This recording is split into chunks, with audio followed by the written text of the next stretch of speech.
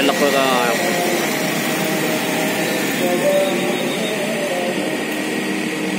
Matani ko.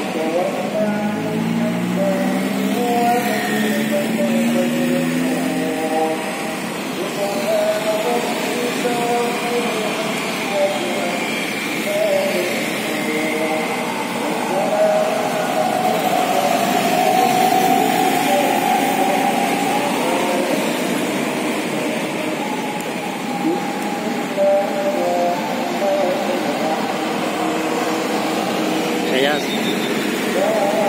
Almira Trans di Selawi.